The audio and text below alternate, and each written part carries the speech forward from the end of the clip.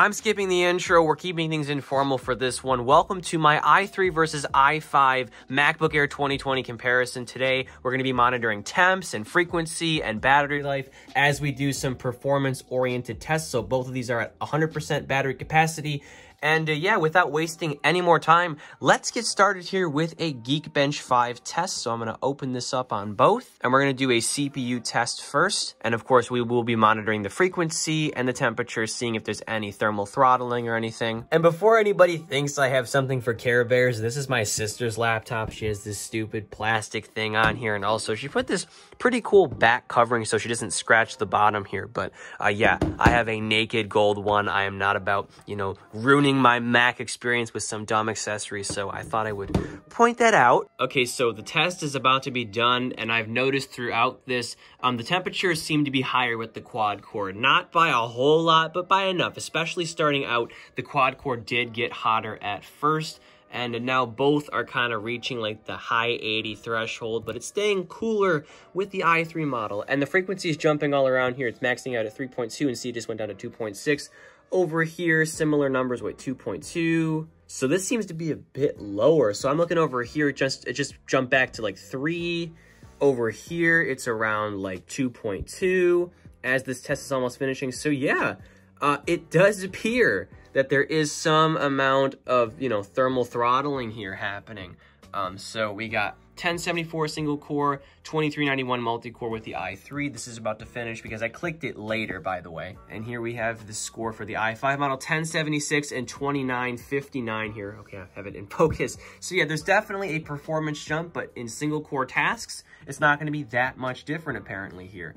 And I can't really look at the, you know, like the temps and everything now because the, you know, CPUs are not under load. But yeah, so far it seems like the i5 model was heating up a bit more and it was having some lower max frequency levels or whatever. Okay, so next up, I'm going to open up Cinebench 20 on both of these and we're going to see how the frequency and the temperatures are performing. Both of these laptops are still at 100%, so power efficiency seems to be pretty okay, but keep in mind that was just one performance test, so I'm going to um, run this once it's ready. The fan speeds are already ramping up in the quad core, although we are a little bit farther along in the processing, I do believe here. Um, so let's look at what's happening over here. So the temperature has already reached 99 degrees. Over here, similar temps, so it's not necessarily cooler, uh, but we'll also look at the frequency here. It says max 2.5. We'll watch this for a minute. 2.5, it's staying at 2.5, average 2.4. If we look at the frequency over here, max 1.7, max 1.6, average 1.59. So I am seeing some thermal throttling apparently here. It's running each core at a lower frequency. And keep in mind, if you have more cores running at the same time, they are going to get more done. So I'm not saying this is going to perform less than the i3, but each core is being clocked a bit lower, probably because of temperature concerns and cooling concerns or whatever. Because because we know like Macs don't have the best reputation in regard to thermals here, so yeah, we'll continue to monitor stuff. And I will note here that utilization is pretty interesting here. We're at 87% with the i5 versus 49.78%. So I don't know. That's that's kind of weird. I don't know too much about like CPU architecture and all of that. Maybe someone could explain that, but I will say here we are a little bit farther along in the rendering benchmark with the i5 model. So it is performing better. And here's something really interesting. The i3 model is already down to 97% doing these intensive tasks, whereas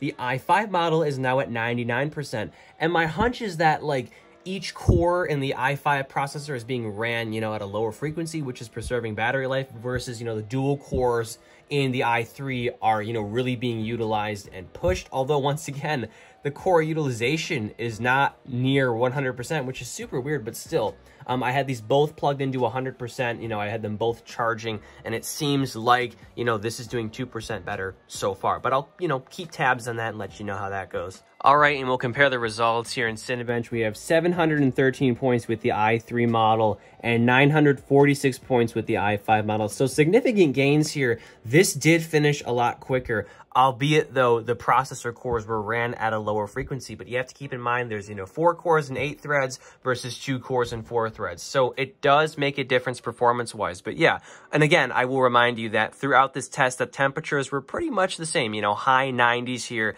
But from what I saw, the frequencies remained pretty consistent. But we'll do some, you know, longer rendering or longer tests here. But before we do that, I want to actually do pretty much a solely battery-oriented test here. We're going to do some some video playback for like 10 minutes in 4K, or actually, you know what? I have to download Chrome for that. Never mind.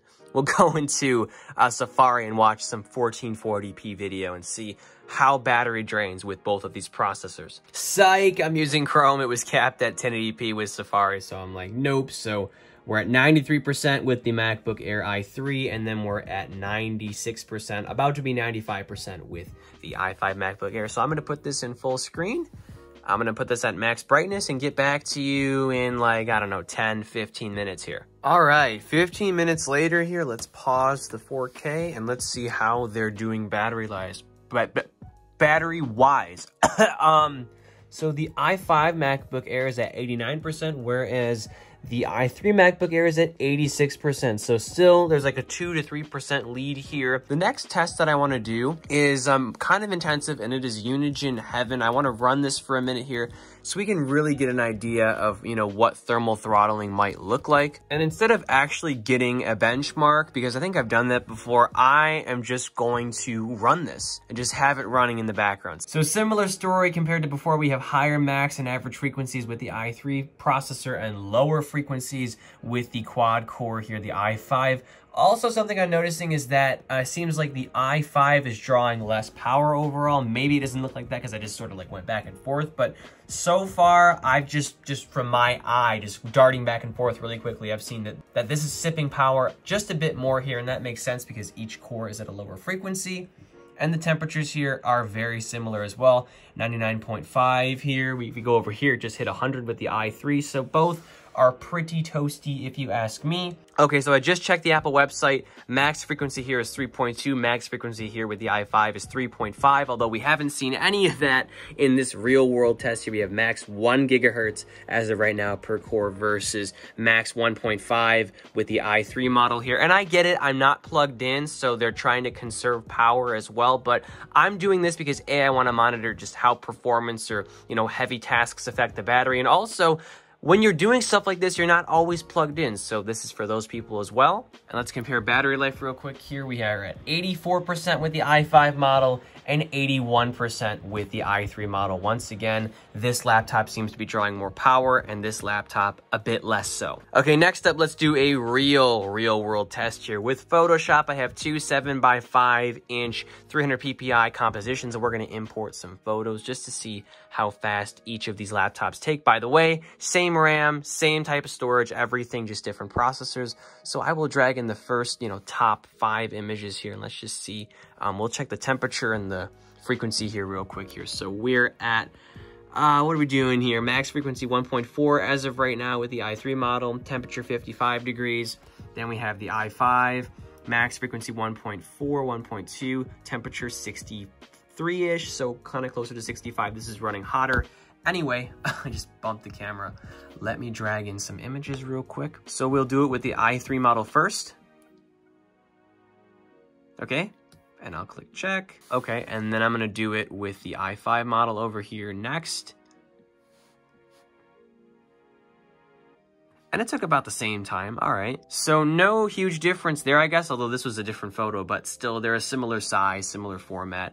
It should be similar. Sometimes there can be a bit of a delay if you're, you know, under load or if you're using a lower powered device, but so far, so good here. Let me adjust, I don't know, some curves right quick. We'll see what happens in real time. It should adjust pretty quickly. So, you know, I'm like, bringing it around, you know, doing some real-time It's just a tiny bit of a delay, but that's pretty normal, even with like my 5K iMac, for example. I'll click cancel, and I'll do the same thing over here. We'll go to adjustments, and then curves. Bring this over here, same deal. And there's pretty much the same amount of delay. I'm not noticing any difference. There might be like a millisecond more or less here, but yeah, so far so good. Uh, a little challenging thing I like to do is with filters. Like, I don't you know, even like my 5K iMac has trouble with these sometimes. So I'll go to filter gallery. I'm going to apply, let's just do dry brush here and see how the i3 model does. Okay, took a minute here. We'll do film grain, okay. Poster edges. See how it takes a minute to render out? Sponge. Okay, sponge is kind of more difficult. Let's try it out with the quad core. Okay, under painting. Go back over here. We'll do watercolor with the i5. Okay, that was pretty quick. We'll do watercolor over here. Similarly quick, colored pencil. That took a second. We'll do colored pencil over here. I'm not noticing too much of a difference, but if you can let me know in the comments, cut out. Okay, that was quick. Cut out. Okay, dry brush again and then dry brush.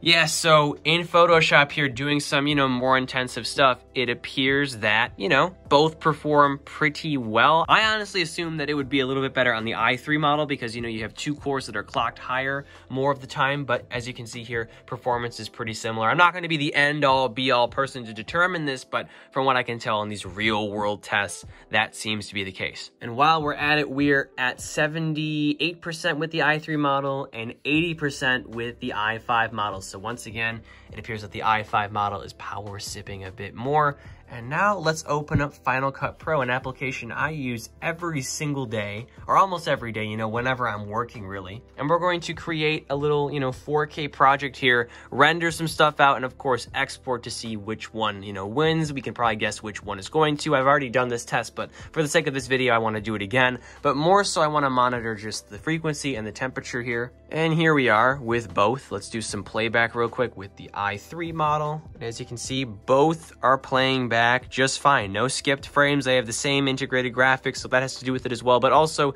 this is a CPU intensive task. But yeah, 4K video playback, if I scroll this way, immediate response, you know, I can go to anywhere I want.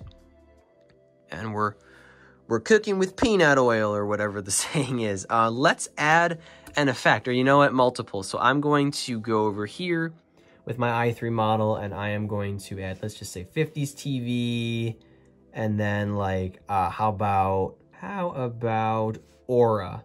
Okay, so both of those, and this looks like crap, but it still has to apply the effect, right? And I'll do the same thing over here. Uh, so it's rendering it out. Let's go back to full screen and see if playback is okay. So we're having some drop frames here. Same thing happening over here. Let me go to like the middle here so we can kind of have a point of reference. Um, yeah, it seems equally shaky, equally not as smooth on both here. Uh, I would assume it'd be a bit better here, but uh, with my naked eye, I'm not noticing that much of a difference in video playback. So that is interesting here. Let's also monitor the temperatures and the frequencies real quick. Uh, so if we go over here, we're looking at max. It was just at 2.2, but now it's 1.6, 1.5, 1.6. Max temperature is 93, you know, lower 90s. Over here with the i5, on the other hand, it's right up there at almost 100%, or 100 degrees or Celsius, by the way, or excuse me. Frequency is a bit lower, though, I will say here. Max 0.7, bets back up to 1, but as you can see here, it's lower overall. And now, let's actually export here. So I'm going to export you know what? I'm to do H.264 because I know that's more difficult for the processors. All right, so I'm about to press save on both, so I'll put the camera down in three, two, one save. All right, so now we can watch the progress and the temps here, and my AC is about to come on, and no, I'm not going to turn it off like I normally do, because it is getting hot in here, uh, like these laptops.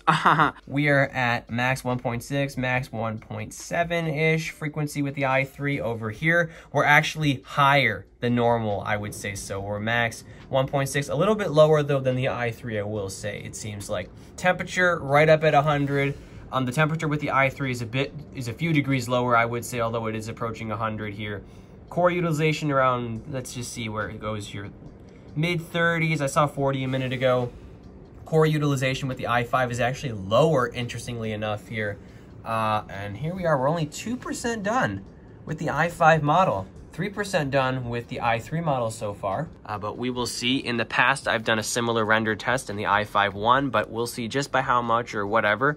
Um, but still, full brightness and everything. We'll do a little battery test or excuse me check here 74% versus 77% so we have a 3% lead with the i5 here once again core utilization is higher with the dual core and like I don't know why it isn't higher with the quad core here, but maybe that has to do something about the temperature. Like if the cores were being used more, then they would be drawing more power and they'd be at a higher frequency and then this laptop would overheat and shut down. So it appears, and this might not be the most educated, you know, assumption or, you know, assertion, so feel free to correct me, but it appears that yes, the thermal issues or the thermal, you know, engineering here is limiting how powerful this processor can be or how powerful or how much in use these cores can be before this laptop, you know, overheats. Because as you can see here, once again, the temperatures are pretty much the same albeit the utilization is different. Okay, a few minutes later, both of these laptops are struggling to export this with 2FX. We're at 27% here with the i3, 29% with the i5. So better performance though, but not by much, at least in this test. So what I'm gonna do is I'm going to stop the rendering here. I'm gonna stop sharing it. I'm going to remove the effects and see what happens. And then I'm going to cap the clip at like a minute. And we're just gonna do a quick little render test here to see which one will render faster, just, you know, more raw footage, because that's kind of what people do. They might do a little bit of color correction, but that's about it. And I'm going to press enter on both, three, two, one, go. Okay, let's check the progress. So 8% with the i3. I don't know why I'm doing that. I can zoom in. We're at 16% with the i5, 23% with the i5, 21% with the i3. Let's check out the actual frequency and temperature. 1.7 with the i3, 1.4, 1.5 with the i5, 99-ish, you know, 99, almost 100 degrees with the i5. Same thing for the i3. Utilization is, of course, higher with the i3 for some reason, but things are chugging along a bit more quickly with the i5 model here. Let's just see which, you know, video is done rendering first. Okay, it's done over here. 93% over with the i5 uh, i3. I keep mixing up i3 and i5, but here we go. As you can see here, a bit quicker with the i5 model, but not by much. Although I will say, I did do a 1080p render test with my sister for one of her videos, and it did make a big difference. It took about half the time to render a 1080p clip that's like 30 minutes long compared to this. So the longer your clip, the faster this processor is going to be. Like you'll notice it with longer clips or longer videos, but in terms of shorter projects, um, they're going to be similarly performing, I would say. So kind of sad how you cannot take full advantage of the quad core here with this higher end MacBook Air, clearly for some power and thermal reasons. Although I will say you shouldn't be buying a MacBook Air to do anything super intensive anyway. And after all of this testing here, we are at what, 64% with the i3 and 66% with the i5. So yes, it appears that the i5 model, at least in my test, is a bit more power efficient perhaps due to the lower clock cores overall. Um, in terms of temperature, as we saw, temperatures were definitely a bit higher with the i5 model, which may have, you know, limited its performance here. This definitely didn't clock as high as the i3. Once again, here, this had higher clock speeds. If I already said that, I feel like I'm talking in circles. I've been repeating i3, i5, i3, i5 for the past hour, so forgive me here. So yeah, hopefully this gave you some insight here. Um, honestly, I'm going to stick with the i3 model. I'm very happy with how it performs here. I kind of think that, you know, until Apple switches over to ARM-based processors, which is coming soon, actually, they should just stick with dual core. They should have stuck with dual core, but it's kind of nice to have a quad core in the air, except I just don't think you're going to take that much advantage of it because of the thermal, you know, engineering in this, you know, very thin and light laptop. So know that this will perform a bit better, but not a whole lot better to justify it, I think. Personally, for my usage case, you know, for like light Photoshop and typing or whatever, I might consider a RAM upgrade upgrade before a processor upgrade. Uh, and also, you know, increasing storage over a processor upgrade. So keep that in mind here. Um, but, you know, if you are doing more video editing, like I said, you know, longer projects, then I would recommend buying the i5 model. It really does come down to what you're doing. But yeah, long story short here, hotter, definitely. More thermal throttling, I would say, from my experience a bit higher performance, a bit better battery life actually here, but once again, this is really impressive. I'm very impressed with the i3 processor in this lower end MacBook Air. So that about wraps things up here, this informal test. Once again, hopefully this helps you out in your purchasing journey. I'd really appreciate it if you leave a like, comment if you have any questions, suggestions, or opinions, and of course, subscribe for more content like this And as always, I'm Noah, and I will catch you all in the next one.